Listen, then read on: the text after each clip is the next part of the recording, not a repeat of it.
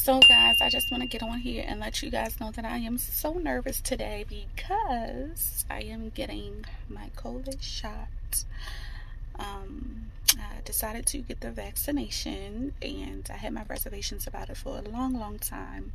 But um, unfortunately, I have to do it. So yeah, I'm nervous and I'm going to take you guys with me. So stay tuned. I'm get ready to pull up and I'm so nervous.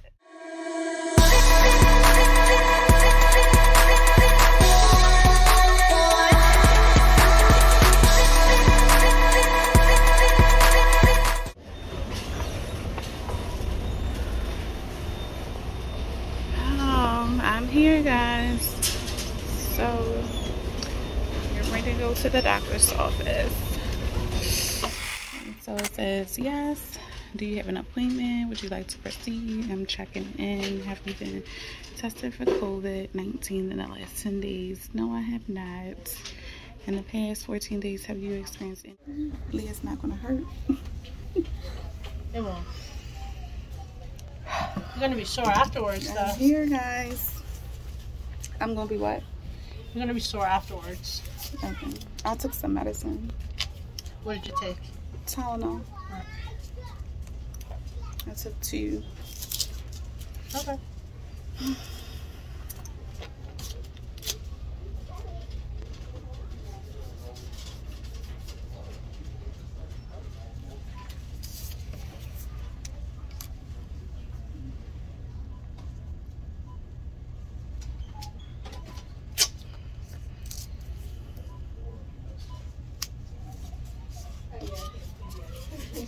Wasn't bad, guys. It didn't hurt at all. She was very gentle. Well done. Hey guys, welcome back to my channel. So today is the day where I'm going to get vaccinated and you guys are going to come along with me. So right now you're just I'm just getting ready and um, just applying a little bit of makeup before I go out but nothing too heavy just something really light I'm probably going to just throw on some cute little lashes and um out the door I go so stick around if you haven't already subscribe to my channel give me a thumbs up like my video and give me some comments guys just so you guys know, I am a new YouTube personality influencer, so I want to engage with my audience. Please be nice. If you don't mind, like, comment, share, subscribe to my channel, and give me a thumbs up. All support is definitely appreciated. So without further ado, let's get into this video as I was saying, I have these cute little um, lashes here that I'm going to put on and we're going to talk about my experience um, with getting COVID um, getting the vaccination, how I feel, and I think I'm gonna do like updates with like day one, day two, day three. So I want to document my experience, and um, I mean I had my reservations about getting the um, COVID vaccination, so I'm gonna get into that as well. But if you guys um, have your reservations and speculations about getting the vaccine, um, drop them in the comments below, and you know be sure to follow my video and um, come on this journey with me. All right. So guys, if you already don't know, I have a lash line, Dollhouse Baddie. So these are the lashes in this like little cute champagne bottle that I sell. So if you are interested in purchasing some cute lashes, don't forget to um, follow my Instagram business page at dollhouse.baddie or follow my personal page at fineaskeisha underscore underscore. anyway, so yeah, let me find my lash glue. So the package also comes with like your cute little um, eyelash brush. Oh my god, this is super cute. And of course, it's pink for the girls. And then you have your lash applicator that matches the champagne bottle, the lash bottle. So that's super cute. And then also you have your hydrogel eye patch. Oops. So um, that goes underneath of your eye you apply it to your eye. It helps with like hydration and um, moisture and bags up underneath of your eyes ladies. So yeah I'm gonna apply it and show you. Okay. So you just simply apply it like that and it sticks right to your skin. Okay And so here you have it guys. Both of my lashes are on and that's pretty much all I did. And then I just kind of put some lip gloss on and everything that you just seen in my previous um, in the beginning of the video. So now I'm gonna just go ahead on and unwrap my hair. If you guys seen like any of my um, videos with bonnets on my head, it's mainly because I kind of went all natural as you can see. And so yes, sis, um, I need to just kind of reserve my hair because you already know how it is and you know, um, what you call it, like any kind of like humidity or anything gets to our hair it kind of just goes poof. But I'm trying to take care of it. My hair is really, really long. People always be asking me like, why do you always wear weaves? And as you all know, if you are a female, um, it just kind of pretty much lasts longer. If I me to be like a college student, I could just pretty much just get up.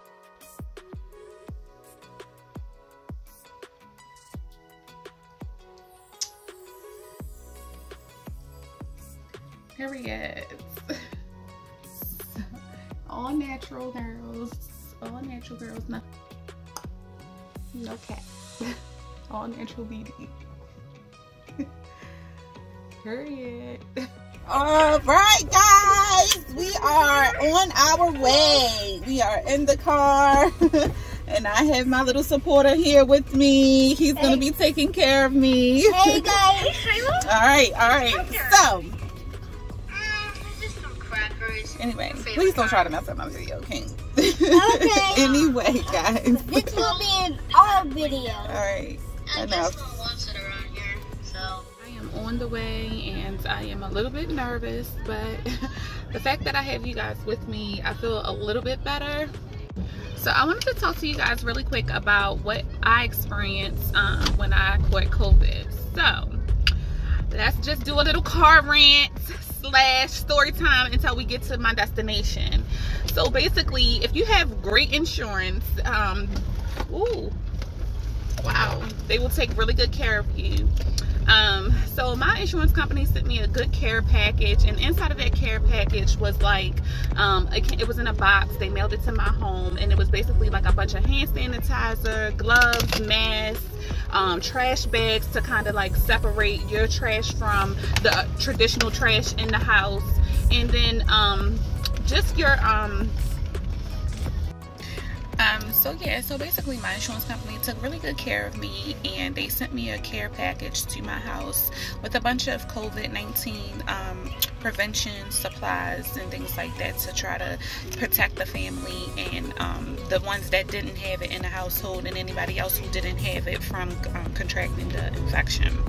And so that was really nice because I talked to a lot of people who um, did have COVID and they didn't get any kind of service like that. So kind of felt special, but nevertheless, um, I was really sick, guys. When I first got it, I was really sick. I did go to the hospital. I'll probably um, post like a little picture up in the corner. Um, just, you know, just bringing back memories of me when I was there. Um, there was no treatment. There was no cure at the time. So it, they really didn't do anything for me. It was just a matter of them telling me to go home and get rest and then just your typical taking care of yourself um so yeah um I mean, the only suggestion that I have, guys, is just to continue to keep protecting yourself and following the CDC guidelines. Um, continuing to um, remain six feet apart, uh, your social distancing, and um, washing your hands very frequently uh, before and after eating meals, um, before leaving facilities and going into facilities. Like anything that you can do that you haven't been doing in the past that you think that you could potentially contract um, any kind of infection or bacteria, germs, virus, etc. Like just do it just to protect yourself. Um, because I felt like I literally did all of the um, protocols with um, wearing the face mask, wearing the gown, wearing the gloves, and still like, sis, I got it. Like, so yeah. Um, but it doesn't make any sense to me. But um, nevertheless, like just continue to keep doing what you're supposed to be doing and following those rules. I don't care if it is a family member, it's a friend, a loved one, whatever. You still need to follow those rules. We're almost here guys and i swear the closer i get to this place i'm like getting nervous and i'm dreading it or whatever. Like i said for the longest time i had my reservations about it but if you are planning a family vacation like a cruise or getting on a plane going through the airports or whatever have you they are requiring you to be fully vaccinated. So that is one of the things that i had to take into consideration um, with taking getting the vaccine. In addition to if you are in the medical field working in the medical field and working on the front line that too hospitals are requiring you to have um, the vaccination. So those two are my main really reasons that um, i had to get it it. I almost feel like, you know, they're forcing you. Um, but, and if you guys are probably thinking, well, you know, just to protect yourself and your health and your safety, why don't you just go ahead and get the vaccination? Well, when you already have COVID, you have already, your body has already developed the immunity, the antibodies to fight against any kind of infection. So, um, it's not that I was not a candidate for getting the vaccine, but I had to wait a certain time period before I went on ahead and just injected myself with something that I was still educating myself about that I have no idea what's inside of it. But these are some of the questions that I want to ask um, this person that's going to be administering the um, vaccine. So you guys are going to be with me when we go here. Um, I'm pulling up now. So just stay tuned, guys, because I'm in the parking garage and I'm trying to find a good parking spot and pay attention and focus to that. So I am here, guys, going up the escalator. That's my appointment. My heart is beating so fast. Oh, Lord. then I have the little daredevil with me, so. And the Jota Bunny, shall I say.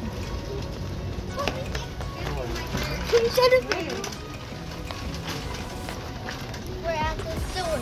And this is the store. Why? What? Alright guys, so I am here.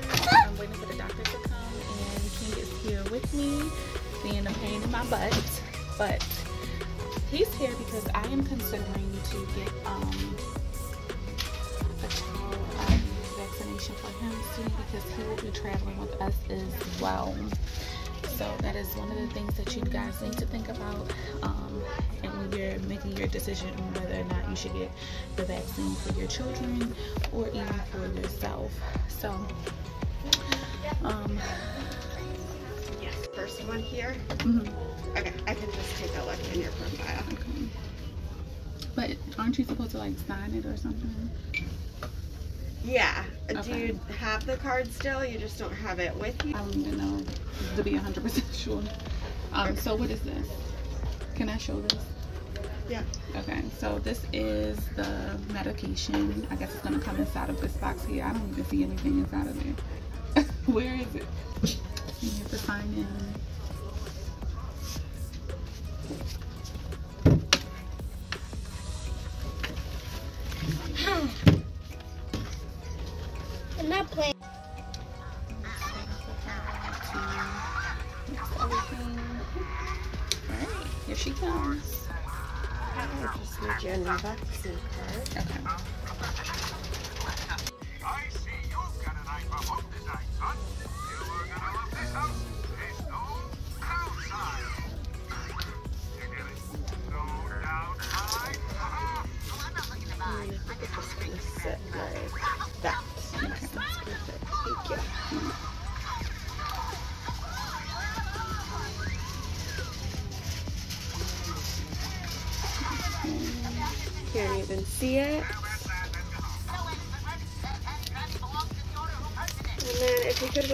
Corner for 15 minutes just to make sure you don't have a reaction. Okay. Thank you. Thank you. Come on, King. So I'm just gonna sit over here, guys, and just wait, like she said, for 15 minutes, just in case I don't have a reaction or anything to the medication. And then after that, I'm assuming that after that, then I'm assuming that I'll be free to go. But while I was sitting here, guys, I was watching the video very closely and I was watching the needle when she injected it into my skin. And there was like a brownish color at the tip of the needle that I did not see retract from out of the needle. So I'm wondering exactly what are they putting inside of your body. Hmm. Interesting. I didn't pay attention to it to the first time, but I'm gonna combine this video with my first video and then we're gonna run it back and I'm gonna play it back and see. But now it has me wondering, but what can I do at this point? Because they already stopped me. But those of you who missed it and who did not catch it, I'm gonna play it back one more time. Look very closely. But as of right now, I am feeling fine. I'm feeling okay. I did pre-medicate myself with the ibuprofen, and I think it was like 200 milligrams, so it wasn't a lot. Um, this lady in particular did not. Um,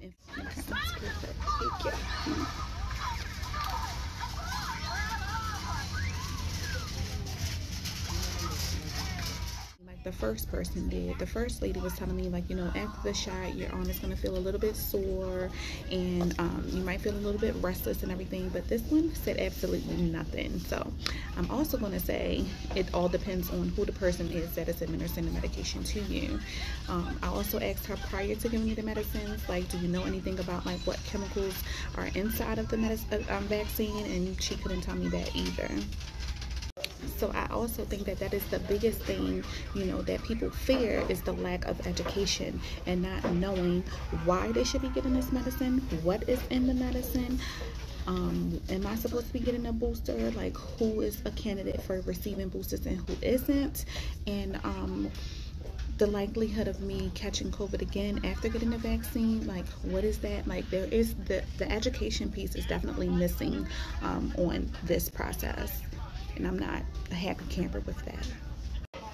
So I recommend, I highly recommend guys to get your education, do your education and your research before coming to these places to get the vaccine, just so that you can have some background information on exactly what it is you're um, getting, injecting into your body, and making that decision on which vaccine that you want to choose, whether it's going to be the Pfizer, whether it's going to be the Moderna, or whether it's going to be the Johnson & Johnson. Me personally, I do not recommend the Johnson & Johnson because at one point they did have a recall. Um, they were causing like blood clots in certain women and I definitely don't want to have to experience that. So but the difference between that medicate that vaccine and the other ones is that it's just a one-time dose. Whereas the Moderna and the Pfizer you have to get it two times. So in addition to the booster if you're you know a booster candidate. But nevertheless do your research I have a disclaimer to make. I do have 17 years of experience medical background, but I am not a doctor. I'm not an MD. So if you have any additional questions, you might want to contact your physician and or your primary care provider and reach out to them for any kind of questions that you may have pertaining to this vaccination. What is this? This is the vaccine card that they give you. So it has two shots on there. The first one, the first dose, and the second dose. So you want to see? Look. Want to see my arm? You see it? I see. Can I have a hug? Why did you Is that how you give me a hug? No, that's not how you give mommy a hug. Oh.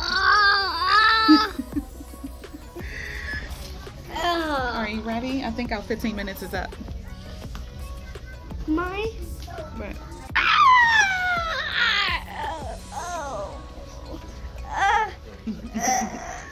you don't want to give me a hug in public.